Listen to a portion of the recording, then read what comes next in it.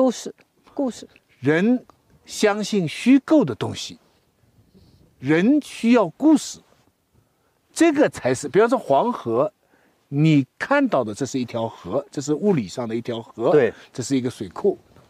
但是另外一个，这个黄河之所以天上来，或者是奔流到海不复回祖国这么，嗯这个黄河是放在一个民族的精神的传统里，它的意思可是复杂的。但是黄河是也不仅是黄河，黄河呢又有个特别，因为它跟中华民族有关。对，但是其他的也会有，比方说你去到一条河哈，我是久仰大名去多瑙河，很失望，对不对？那个为什么在维也纳，你脑子里想的是交响乐吧？。对，你在维也纳，你开到要开过了，我自己开车开过了，再回来，再在路上还去问当地的人，是不是蓝色的？哎，哪里什么蓝色的？多瑙河？我们蓝色多瑙河你，所以蓝多瑙河这个符号是那个圆舞曲，对种在我们脑子里对的对的蓝色的多瑙河，噔哒哒，噔哒哒，噔，啊，不是，这不是这曲子啊。你，这是什么？不是，反正是三噔噔噔噔，对对对，这这不是不是这曲子，当当对对。当当当当对。当哎当，它这个是水流越过那个石头的声音。但是你跑到那里看，就是真的是真的是很一般。你小水沟有哎的地方，就就是就多瑙河，但是也有一些河，真的是你是去到了以后，因为这个名声啊，因为这个名字塞纳河啊，那你真的是觉得它这个河，那个尼罗河，塞纳河我不失望，嗯，不失望，当然不对吧失望啊。泰晤士河我也没有失望，泰晤士河要讲河本身没有任何特点，对不对？那就就是因为在伦敦中心这样，那是因为河两岸，哎，对河两岸的风光。其实，塞纳河某种程度上也是因为城市那些桥，啊但是黄河是不一样的。没错，黄河至少在我来讲就是两种，第一种就是李白的这个“黄河之水天上来”，你要看到它的黄河头上，那就是代表天呐、你这个节目不叫行天下吗？啊，对不对？天下有两个概念，一个是国家之外啊，整个天下物理上的；另外一个就是中国人以前天意嘛，天命嘛。嗯嗯嗯古代的人最大的一个一个向往就天下，所以所以在他看来，黄河之水天上来这个隐喻啊，就是天人这个嗯，天人合一，对。第二个就是，尤其是近就黄黄河大上啊这些，就是嗯，就是比较近代的黄河的意义更加突出了，这个中华民族的炎黄来，哎，炎黄子孙，嗯，我们每个人大脑里啊，也有一条河，这个河呢，就是说啊，是中国人之所以为中国人的东西。还有黄河作为我们的那个这个符号啊，它还无意识当中印下了很多东西，就是说它是很苦的。你看它的水是浑浊的，嗯，它是弯来弯去，弯的很厉害，它不是那种很很直淌淌的这么一个河，而且这条河带来很多灾难。嗯，从这个民族开始，最成功、最原子大禹治水，哎，而且现在说有世世代代都在跟他的嗯这个做斗争。对，对不对？所以这些都融入在这个民族记忆当中。在看世界史哈、中国人生活的这一块的的这个地理环境是很好的，哎，人口所以是很多的，它的国家可以几千年延续的，这块地方蛮好。但是不知道为什么，就是因为这个黄河，我们记忆里边总归是好像得 咬着牙奋斗。哦有有有有克服对，有科学证明，他们说黄河是最活跃的水域，就地球上最活跃的水域。它变来变去，对对不对？然后治水这它给我们带来生命，但它随时又拿去生命，对不对？嗯这是这黄河的这个象征，它之所以成为所谓民族的象征，不仅是因为，就是说，呃，呃因为华夏民族是从中原起来，但是它还有就当然也有很多是后来的人的附会了，对加上去的印象。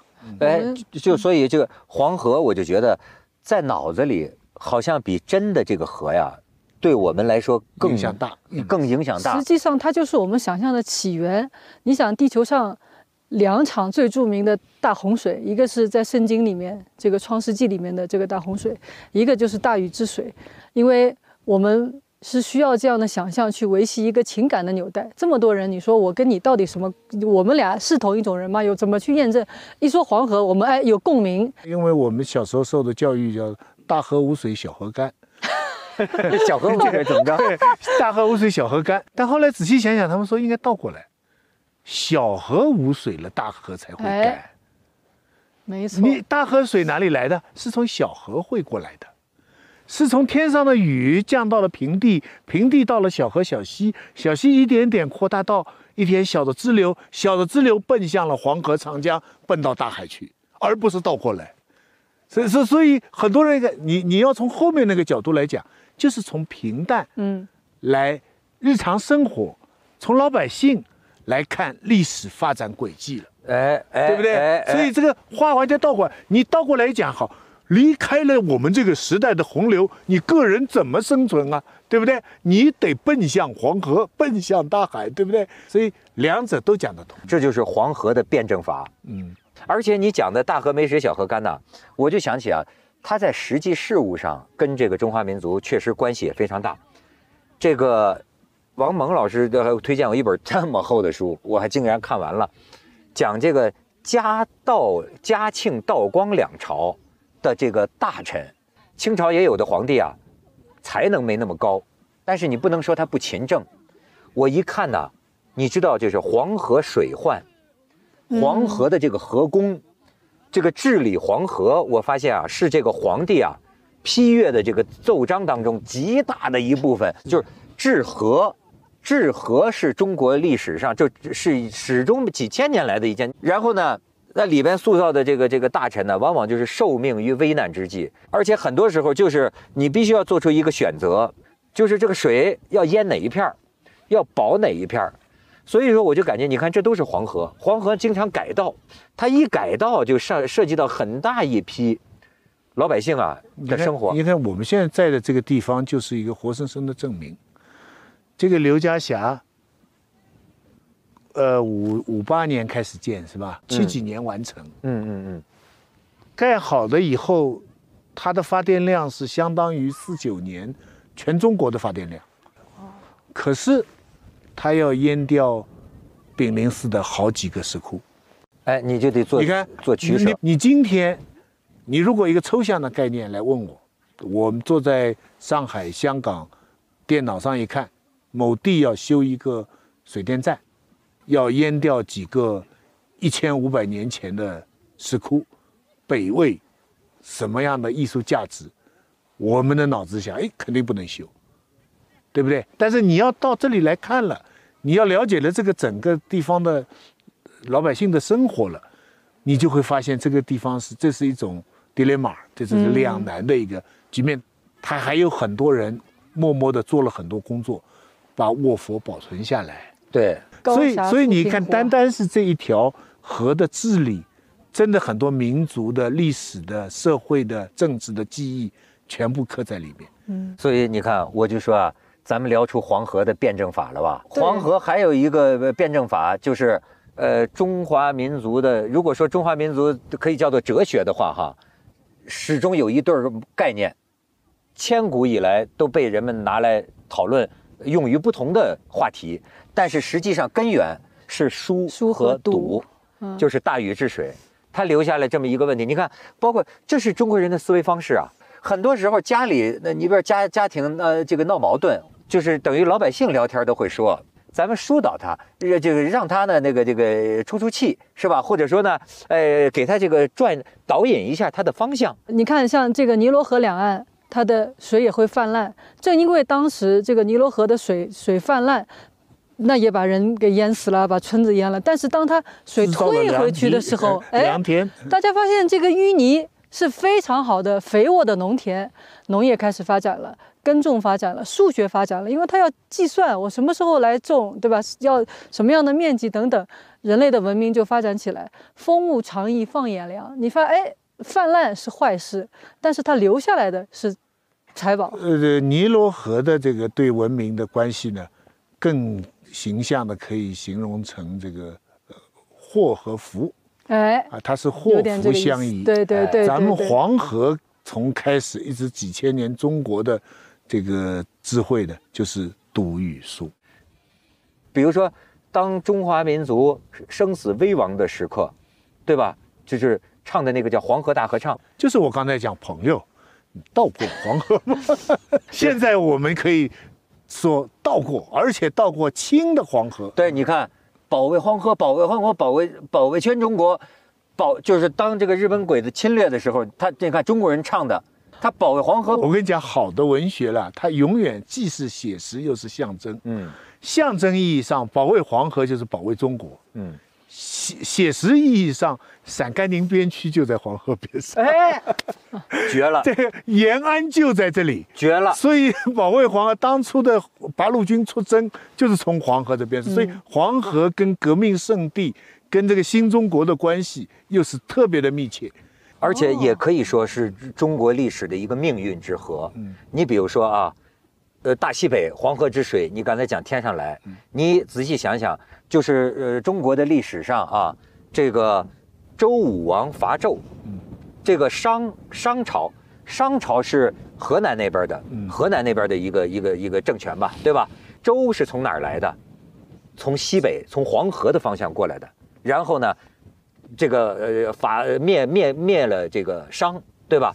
后来到晚明，李自成从陕西这边来的，所以他们有人说啊，就说这个这个中国历史上经常有一个现象，就是说啊，你比如说包括中国工农红军，他呢到延安，到似乎到这个民族呃到黄河的这个摇篮里啊休养生息，甚至说李自成开始受挫之后就回到商洛山，就回到这个西北，然后他再度这个逐鹿中原，就是往往有这么一个呃逻辑，它也是呃包括这个秦，你看秦是秦是从西部打过去，秦最后统一了中国嘛？对，这这这你看，都是从这个这个方向黄河的这个方向来的。所以水也是一种兴兴衰的这种隐喻。还有一个就是我们这个故事里边，黄河有这些特征，我们民族 不屈不挠哎，哎不屈不挠。中国人就是说，我们是吃很多苦的，我们是很不容易熬过来的，但是我们是不会失败的，我们怎么样也奔到大海去的，是这么样的一个一个黄河，就给个民族记忆，是故事，是故事里的黄河。我所以，我真建议啊，凡中国人啊，有可能的话，应该见一见青的黄河，哎，绿的黄河。你要你要这么说呀，我还给你附会一个，我觉得啊，黄河的这个河道的这个流向啊，对对呃，跟这个中国人的某种性格，嗯或者说在外界看来中国人的某种性格很像。你看，我们去任何国家呀，就是得到一个感觉，就是说这个华人呢，他的这个生存韧性，对嗯，就生存，就是他在你看，你看，你看黄河，它不是一泻千里的一个直直的大河呀，就是咱们这次看到了，那真的叫九曲十八弯。你看，就是就是中国人，就是好像给人的感觉就是条件再差，你欺负我再厉害，就是我忍呐、就是你看咱们说忍无可忍的时候。我也有壶口瀑布，对吧？但是壶口瀑布，壶口瀑布的前提，喷发的前提是，中国人他在遇到很多事情的时候啊，这也是一种古老的智慧。对，就是他很能忍，他小不忍则乱大谋，然后他让你要看得长远，道路是曲折的，前途是光明的，就是黄河的流向，它最后必将东流入海。当然，你每一道弯曲也积累了每一道的委屈，包括中国人的家庭伦理。家庭伦理，当时说，呃，是哪个朝代啊？就说这个人呢，呃，几代同堂，多少代，九代、十代同堂，反正就说这家庭关系特别好。然后问这个老爷子，就说你这个家庭为什么能这么和谐啊？他就二话，他就什么都不说话，拿起毛笔写了一百个忍字，哦，百忍成钢。你看中国人又有有有这个成语吗？就是啊，百忍成钢啊。中国人又有就说何以百炼钢啊，化为绕指柔，就是说你为人处事，对吧？你不能老是那个刚的，而且你比如像黄河碰到阻力，你可以迂回，但是你因为迂回，你也不能失去了方向，你最终啊。兜兜转转，也许你吃了很多苦，也许你绕了很多弯路，但是呢，我就觉得啊，他这个很多这个处世的这个哲学啊，这个也有点像这个黄河，不是有点像了，是太像了。整整过去一千年，那一方面我们很自豪，我们两千多年前的东西，现在随时拿来用啊，这个己所不欲，勿施于人。对我觉得这世界上最伟大的话，随时可以用。我们一到了河边，黄河之水天上来，奔流到海不复回，那就是绕啊，就是弯曲啊，就是就弯曲啊对，徐老师，这也是黄河精神，带着泥沙继续向前，泥沙样倒是混在一起，变变成一条更大的、更宽阔的河流。你光说黄河清，但是水至清则无鱼啊，生太清了，生机不勃勃，你知道吧？但所以你看，有一个词儿叫泥沙俱下，很有泥沙俱下，只要配另外一句是什么？呃，对我们很有容乃大。我以为是玉石俱焚你呢。你你你看，，同一句话可以有两个方向去。哎，你看，这是两种呃两两种风格，对吧？泥沙俱下，玉石俱焚；泥沙俱下，有容乃大。嗯哎，你比如说我自己就觉得，屈原那就就投投江也要清白啊，对吧？就是这是一种格调，但是呢，另外一种格调啊，就是浑然的这个大的气象。你要这么说，我真的觉得，假如用形象思维来看中国历史的话，黄河，中国历史都很像黄河。对，它有朝代兴替，对吧？螺旋上升，三十年河东，三十年河西，这个话你只有看到了黄河的流流流道，这个弯弯曲曲，你才明白这是什么意思。对世事变迁的一种通达的世界观。就是中国人的这个世界观呐，呃，我觉得有一种高度，有一种高度，就是他在这么多的这个三十年河东，三十年河西的这个这个青山依旧在，几度夕阳红的这样的一种发展当中，他还能站在一个高度上讲啊，就是子在川上曰啊，逝者如斯夫，就是他能有一种。旷达，就像你像说的，你这个诗下两句是什么啊？那奔腾到海不复还，君不见，高堂明镜悲白发，朝如青丝暮成雪。他有这么一种沧桑，就像咱们在这个这个这个中华民族这黄河旁边，咱仨不也是古今多少事儿都付笑谈中？这又有一种啊，让咱们觉得特再擦擦治愈。鼻涕，擦擦鼻涕。我感动了，我感动了。中国人讲这个得气啊，接地气啊，接水气啊，对，咱们是真的在在他的滋养，在他的怀抱当中啊啊，河伯，河伯吧，该该给河伯娶亲了吧？飞翔伞回来了，哦，呃，你可以看看，咱们看看看看哇，现在黄河上现在出太阳了，太好了。黄河上的飞翔。现在你就看看飞飞翔伞的人，他的那个 GoPro，他的那个视角，嗯看到的是什么？正好咱们这儿有这个创维嘛，哦，飞出去了，哦，他看出来的山是这样子的。哇，当当当当！哎，我说那个圆舞曲《多瑙河圆舞曲》不是噔噔噔，我就我我唱的是哪个调啊？不知道。噔噔噔噔噔噔噔噔噔噔。我们的啊，那是我们的少先队的，我唱的那是。但是都是多脑河我知道搞得是什么。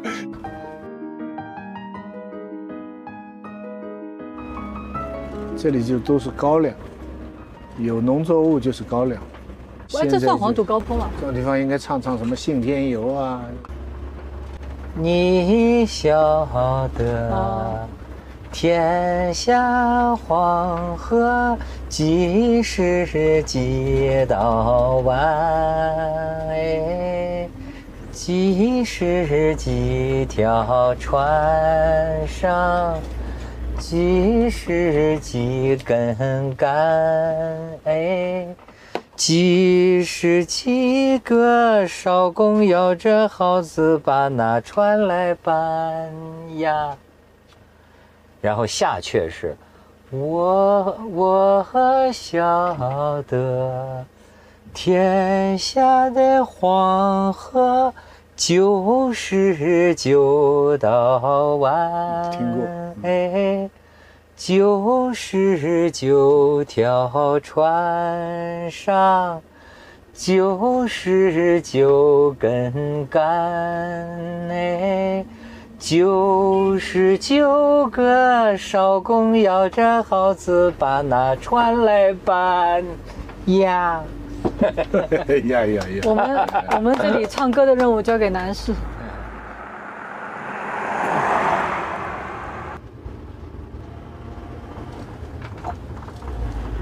不睡觉？嗯，醒了。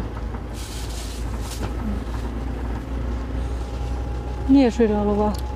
眯了一会儿，后边真是一个真的床，真的是个床，你可以试试吗？是吗？哎，你没睡吗？我没睡，我睡不着。西汉文帝，匈奴占领河西，元寿二年（以前一百二十一年），霍去病击败匈奴。哦，张掖是属于武威的。哦，三国时叫凉州。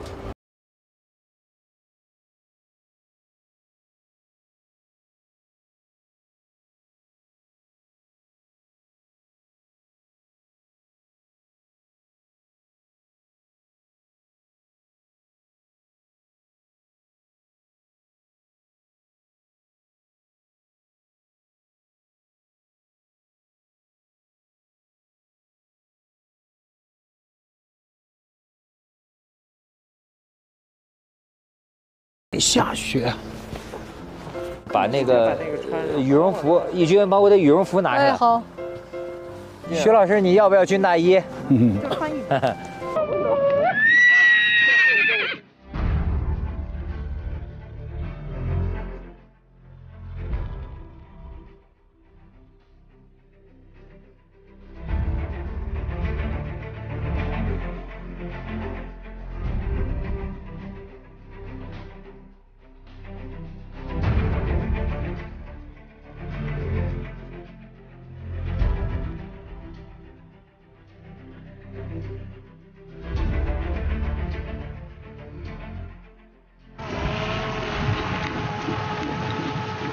跑一次三千块，你问过了？徐老师算。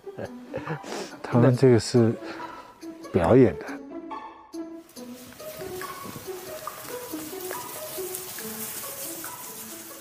来了，看，哎，你看那个白色果然是领头的，你看，嚯，哇，太喜欢了。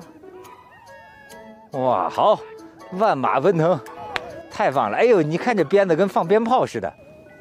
打空的呀，能让他们跑多多跑两趟吗？咱们能不能拍到那种镜头啊？你的镜头在这儿嘛，哗就横着这么过去。哦，我们现在这个马呢，这个山丹马只有四百多匹，不像以前那么数量那么多了。主要现在这个马主要就是用于保这个山丹马这个品种，它不能让这个品种消失，因为它是这个山丹马呢是经过了三十多年的培育才培育的鸠马新品种。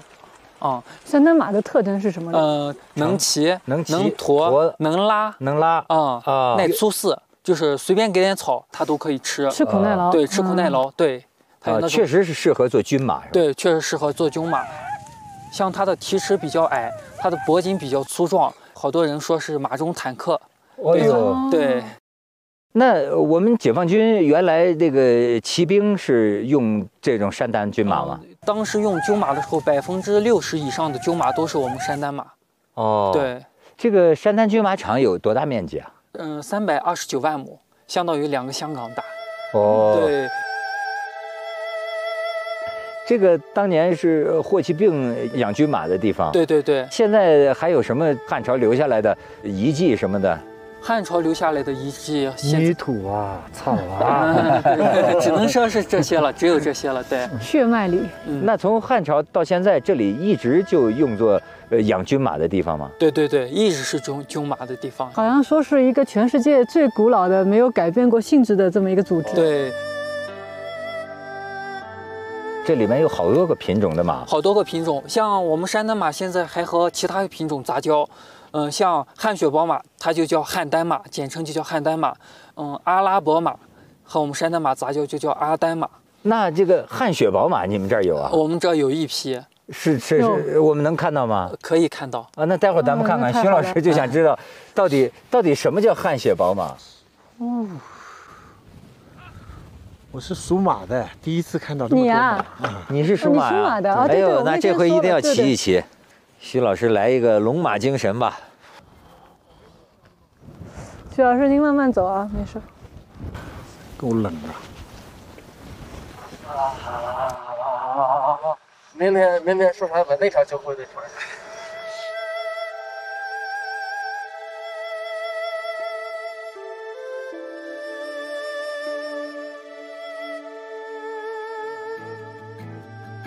我要跑了，跑才能暖和一点。